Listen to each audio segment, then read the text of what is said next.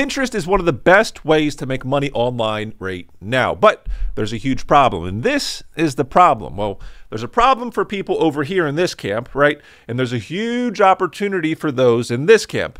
And those over here are those who are going to use AI, so artificial intelligence, to scale their Pinterest accounts to make more money than ever. Now, starting off, we have a new website, Off Grid Dreamin'. Very cool design. I like it a lot. This is I guess you could say this is a public case study. Why would we do another public case study after what has already happened on this channel? Um, well, I think it's the best way to show you strategies. So here's the question off grid dreaming. Why did we pick this niche for Pinterest, right? It's kind of a pain in the butt niche. I'll go over that, but I think there's opportunity here.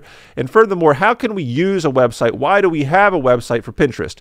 And I'll answer that quickly. Oftentimes, we get Pinterest pages, I'll show you, to a high level. We send them to a website. Why do we send them to a website? Is because once they're on our website, we can monetize in many different ways. Now, if you want to be successful on Pinterest, you better get used to this. So, this is called Pinterest Analytics right? Analytics overview you see up here, right there. So this is a different page. This is Bonsai Mary. This was a previous case study. So Bonsai Mary, the website at one point had 300,000 visitors per month. It was making very, very good income, a public case study. Now, this is its Pinterest page. This is just for playsies. This is just for fun, right? I was just testing out some things, and this is what's very interesting to me. I haven't touched this thing in a while, and this is our outbound clicks. But more importantly, if I come down here, if we keep scrolling, you're going to see something really, really interesting. So I'm going to go to outbound clicks, right? Check it out. Tell me something here. Do you see anything an outlier, something out of place, totally out of place? So we have boho style decor. What we were doing here, we were, I'll just control click here. We were creating these images really quickly, right? And posting them. And I'll, I'll show you kind of that tactic. But this, this right here, do you see this 32 pins and we've had 2,200 outbound clicks? Look, this has 291 pins with 4,000. The ratio of pins to outbound clicks is absolutely insane, which is why we chose this off grid or this homesteading niche. Now, once upon a time, so this is Hawaii, right? I lived on the Big Island, and I'll show you exactly where we lived. And there's a point to this, right? Off grid living. We lived in this little home right here, this exact one, me and my wife, we built from the ground up. This is the exact house that we built in Fern Forest on three acres of land. You get a feel for it. Off grid, solar panels, 10,000 gallon catchment tank. This quite literally is where we lived like everything right there. Really cool existence which is kind of why we were going towards this. Like i'm interested in off-grid living. Now i live on a very on-grid home but i know there are people who are uber passionate about off-grid living homesteading and we've already proven the concept right? We've already seen oh we put some out there and we're getting really good clicks and that means we can make a lot of money now, those 32 pins right here, 32 pins, here are the ones that are successful. This is what it looks like. And I'm going to tell you this. Remember, we had 2,000 plus clicks, a lot of clicks for the amount of effort. This probably took me personally about an hour's worth of time to do all these pins. Not hard at all. Here's my question though which one of these are the most successful, right? I want to know which ones have done really, really well. Okay, this one right here has a huge amount of impressions, pin clicks, saves. So, what is interesting about this one, right? You can see off the bat, off the bat, this is AI, AI content. How can you tell? I mean, you can have an eye for it. AI content, easy peasy. The image is formatted to be tall. Why do we do that? Because people scroll on Pinterest, right, on their phone, and phones are tall, right? It renders well. Pinterest has a uh, preference towards that. Now, before we go on, I think this is very, very important to say. Check this out right here. This is the Maverick Vault.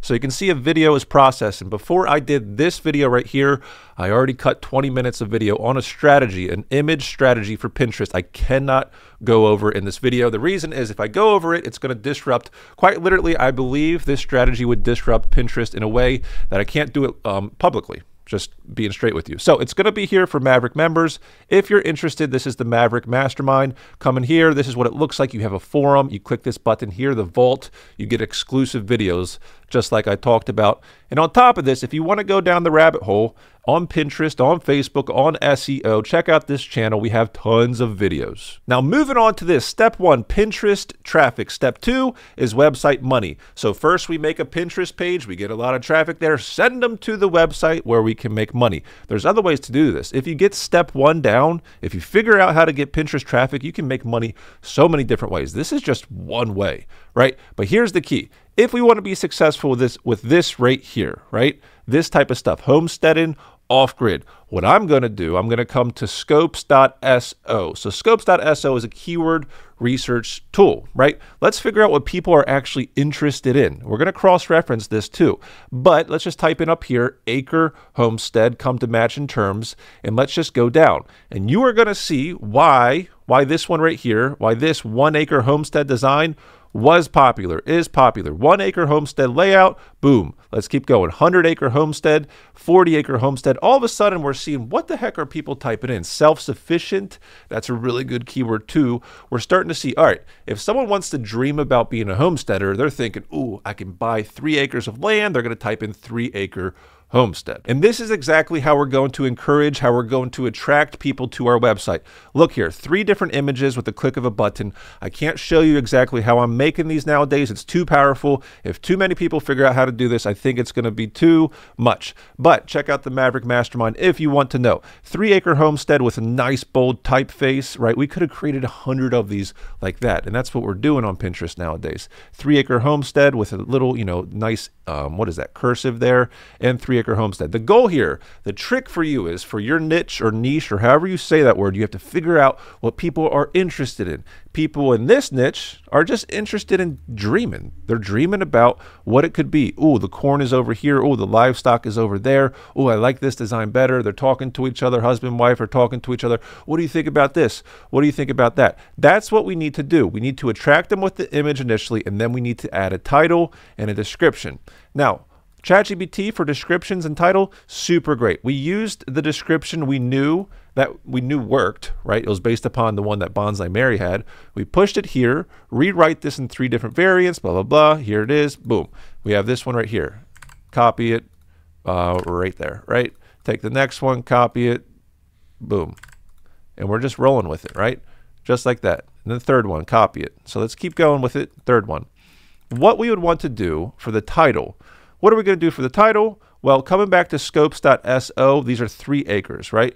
So coming down, we're going to find something. We could do five acre self sufficient homestead. So we're going to do um, three acre um, self sufficient homestead plans in design or something like that, right?